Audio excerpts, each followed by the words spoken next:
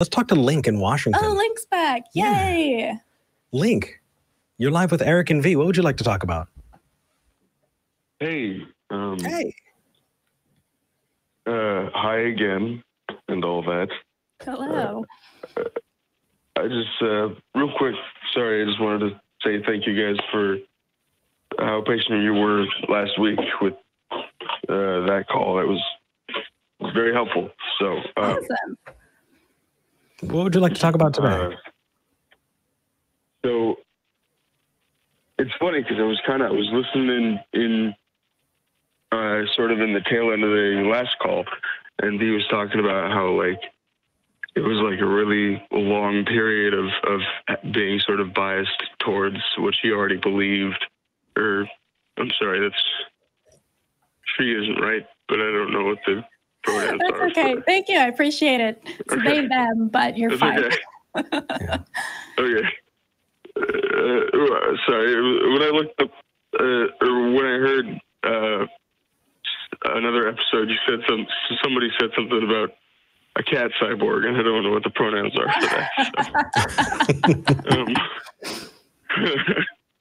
um, um, but yeah, so uh, um, but you were talking about how you were you had been sort of looking into it for a long time, and I'm in sort of a similar boat where like um, I would say for probably the last four years, I've sort of been on this sort of uh, journey towards skepticism, if that makes any sense. Yeah. And uh, it's my my my religious beliefs are sort of on their last legs, uh, and Yeah. all It's all I have that's clinging me onto it is like. I like, I, for example, I know that I've been indoctrinated into it, but it's uh, it's kind of hard thing to beat. Oh yeah. Yeah. You know what I mean? Oh, It yes. hurts. It, it is super uncomfortable. Um, so Yeah. uh, so so you've got a couple more beliefs that are that are hanging on, like um, like Mufasa, and we're we're just gonna we're just gonna Mhm. claw That's- those beliefs off the edge. Wow.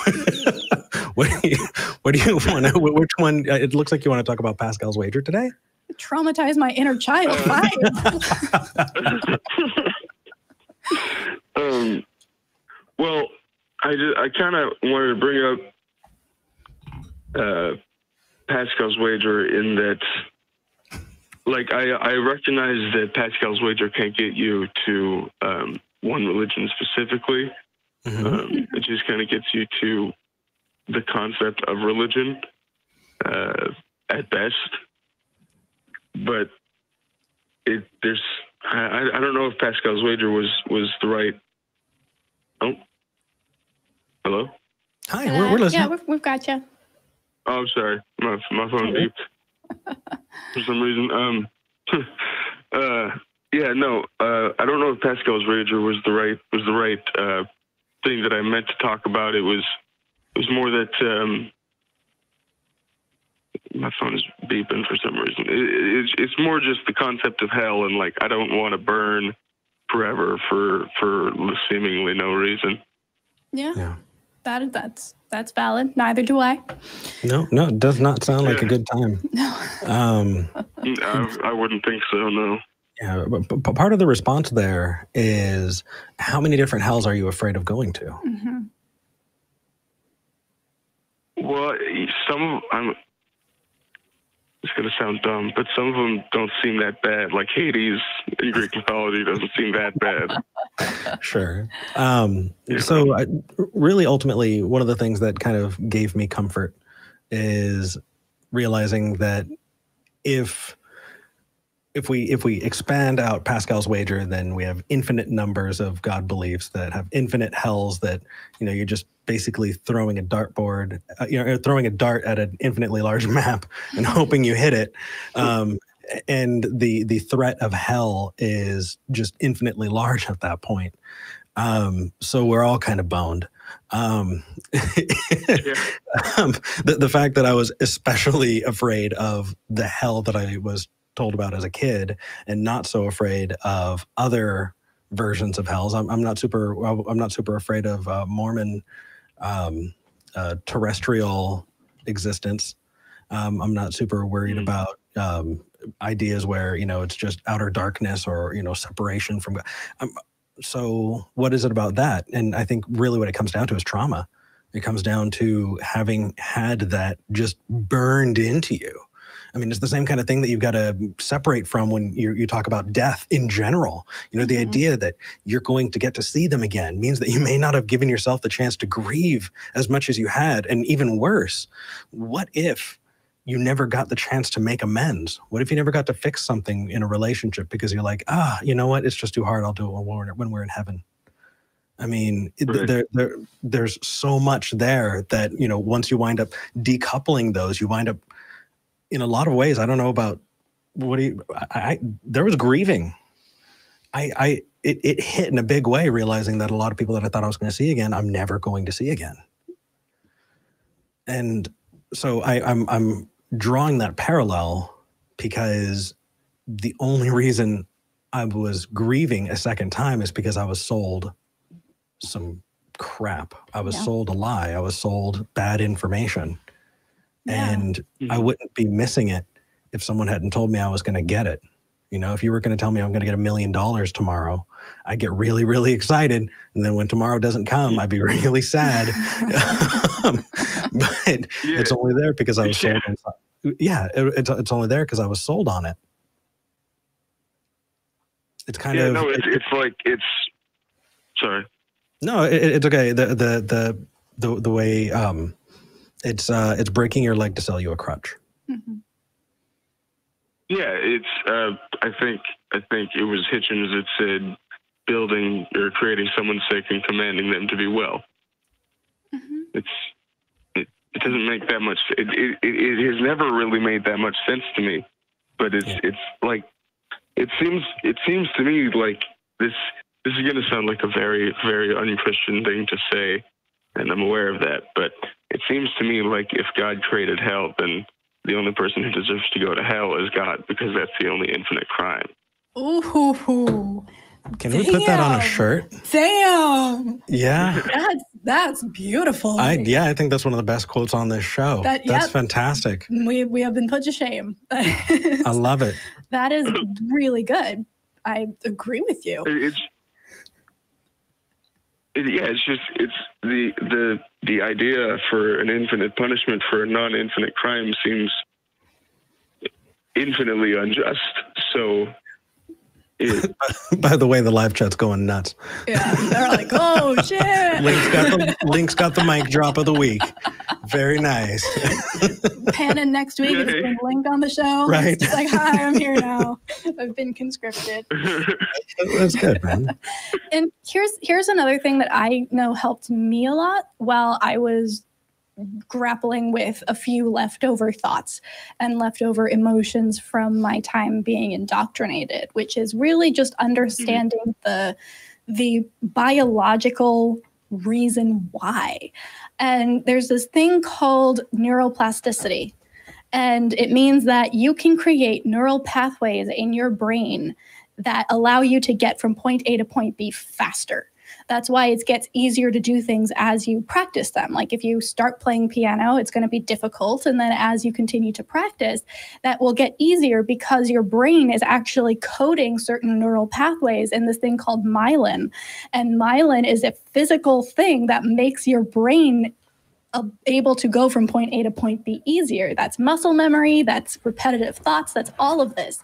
And if you were indoctrinated as a kid and told these certain thought patterns over and over again, that's physically encoded in your brain right now. That's not just you hanging on to things or something from the outside trying to get in and tell you things. That's a physical reality in your brain, and it is going to take time to actually build new neural pathways and shut them down. It is very possible. I've done it, and it's ultimately the most impactful way of, of healing that I've found from this religious indoctrination. But it is a physical thing that you're going through right now. So I'm not surprised that this is something that keeps coming up. And I'm certainly not uh, concerned about it, if that makes sense. I'm not worried that somehow Mm. it's you tapping into some external reality. It's you dealing with the fact that your brain has been literally molded by this indoctrination, and you have to go through the work of moving those neural pathways into different form- formations. And if that's something you want to do, it's doable. Therapy helps, but it's not always the only thing that can help with that. So is stuff like having conversations like this and, and making yourself aware of the fact that's what you're going through. So there's also that component to it as well, which I know I found helpful when I was going through it. Yeah, I I really have not. I, I was going to say cognitive behavioral therapy, and you're like, yeah, therapy and talking. You, you, what Vi said, as far as that point's concerned. Yeah, yeah. Um, uh, I think I think one of my one of my problems is that uh, I consider my uh, like a lot of people can like say that like my parents are like hyper religious, which in my case is relatively true, but like or they can say that like my my pastor was was very very strict or something like that, but I would I would honestly put a lot of the indoctrination sort of on my own shoulders. I think that mine is sort of relatively self-induced. I don't know if that makes any sense. Oh yeah, But, no, um, totally. Um, and it doesn't make it Yeah. any less impactful. You can you can in the same way you can decide to play piano and and get good at it. You can decide on a thought pattern or a belief system and get good at thinking in that way. Um, it doesn't mean that it's any less impactful to your brain if you were Yeah. the one who put yourself in that position. And certainly that's not something to kick yourself about. That's that's preferred in society, right? That's the thing that you're supposed to do. That will that will create uh, the conception that you are a good person, that you're trustworthy, all of these things. So, of course, you're going to put yourself in that Right. position. But moving away from that, uh, that doesn't necessarily mean it's going to be easier to move away from or that you should be able to just flick it off like that. Um, so, yeah, and and a lot of us that we we do that for the rest of our lives. yeah, I, I know personally, I was I was taught shame in a very real way, and I still deal with that. hmm Um, and is it helping anybody? No. But when you're taught to punish yourself like that, you, yeah, you do. Mhm. And you're going to continue to find different neural pathways constantly. Hell is a big one. It is one of the biggest Hmm. ones. It is the one that we talk about the most on this show because so many people, that's their last thing that really will get them out. But you're going to continue to do that. And it's not just going to be religion based, it's going to be things that were informed by your worldview on religion. And uh, you're going to say, oh, wait, I used to not like that person because they weren't religious. I still don't like that person, but I don't know why anymore. There's no basis for it. I should like them now. And so you're con- it's it's a constant process, and it should be. But just because it's taking you a while doesn't mean that you're behind. It doesn't mean that you should have already gotten over this. This is your process. It's your mm-hmm. brain, and depending on how eager you are to change it, it will take you know more or less time, and both are okay. And and just like grief, it will it, it can come in waves. Mhm. I mean, you can you can wake up one day and be like, "What am I doing?" You know, th- there are people who say, "Oh, I just in a moment I changed my mind completely." Mhm. That's very hard for me to believe. Mhm. uh, because you you do you, you double back and, and and you you look at it again and you look at it again and and the more and more you go back the more you kind of ground yourself and the more you work on on those tools how do i know what i know okay what do i have what do we have let's build up Mhm. and so if you have one of those days where it's just like when fear strikes that's it that is also normal Yeah. it's it's Yeah. that's what that's what happens with trauma that's that's that's that's a um that's a, it's a form of ptsd actually uh, we had Darrel on uh, uh Darrel Ray uh, from recovering from religion actually talked about religious trauma syndrome. And and that is just way more prevalent than most people know. Mhm. yeah. It's it's funny because like I felt like I was on I kind of felt like I was on this like uh this this track this like this road out. Because honestly I I think I've I think that the only problem I have with the show is that I'm all caught up. Now I have to wait until Sunday to listen an episode. Uh, nice. like I, I've watched a lot, like a lot of skeptic content, um, and I, I was on this like this easy road out, and then 2020 hit, and everything went to absolute shit. Mhm. Uh, and Yeah. now, like it's I don't know. It's just it's weird. It it has kind of thrown me for a loop a little bit, which I think it has to a lot of people. Oh, Mhm. yeah. Yeah, and it can be very tempting to to move back into a comfortable space where everything's going to be okay and this is all part of a plan and you know all of those kind of uh, fluffy language that uh, religion uses to make you feel okay about things. But what I'm seeing more and more is that most of the stuff that we're dealing with right now is people.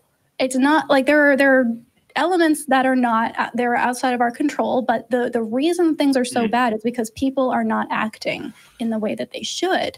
And a lot of that is due to the fact that people are willing to sit back and say everything will be fine. God's got it. It's part of a plan. I'm not going to worry about it so that comfort can come at the cost of actual progress and the safety of other people so i understand Yeah. completely that this is something that you know might kick you back a couple of steps that's fine it's 2020 it doesn't count Is, is that what we're going with? that's what, that's what we're going with it doesn't count it's a it's a gap year from life Okay. Yes, that is the year's I'm motto. with that. I'm fine with that motto for this year. There you go. But uh, so be gentle with yourself. If you have to take some steps back and reevaluate, that's fine. Everybody's doing that in some way, shape, or form this year. Um, but Mhm. the fact that you're aware that this is an environmental thing that's pushing you in a direction and that it's influencing the way you're progressing is very good. Mhm. And as long as you are aware of that and aware that, okay, I'm thinking this thing, it's a result of what I'm experiencing, it's a result of what's going on in the world. How do I decide if this is accurate or just my reaction? Is the whole ball game. Okay. Yeah. Sounds like you're doing good though, man. And um, keep in touch. Let us know how you're doing. Yeah. Also, also if uh, you're not Um, if you're not busy through the week, um, I've been doing little lunchtime live streams on Facebook. Um, there's a new Facebook uh, uh, fan group for Talk Heathen. Um, lots of stuff and uh, a really awesome community. Also, our Discord is awesome. So definitely, Yeah. haven't I, I joined that. Um, nice. Perfect. I- Wonderful. Good. Great. Then we'll see you after the show. I recommend it. Yeah, they, they've been they've been very welcome, well, uh, welcoming. So Oh, good. Good. uh, That's awesome. yeah, All right, man. We're gonna head on to the next call. Take care of yourself, okay? yeah. Thank you again so much. course. Absolutely. I love that Nightbot has officially like gotten on the link train. Five people think God is the only being deserving of hell.